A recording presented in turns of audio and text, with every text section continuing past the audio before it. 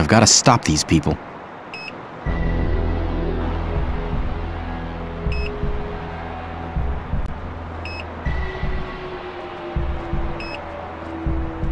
Hey, move!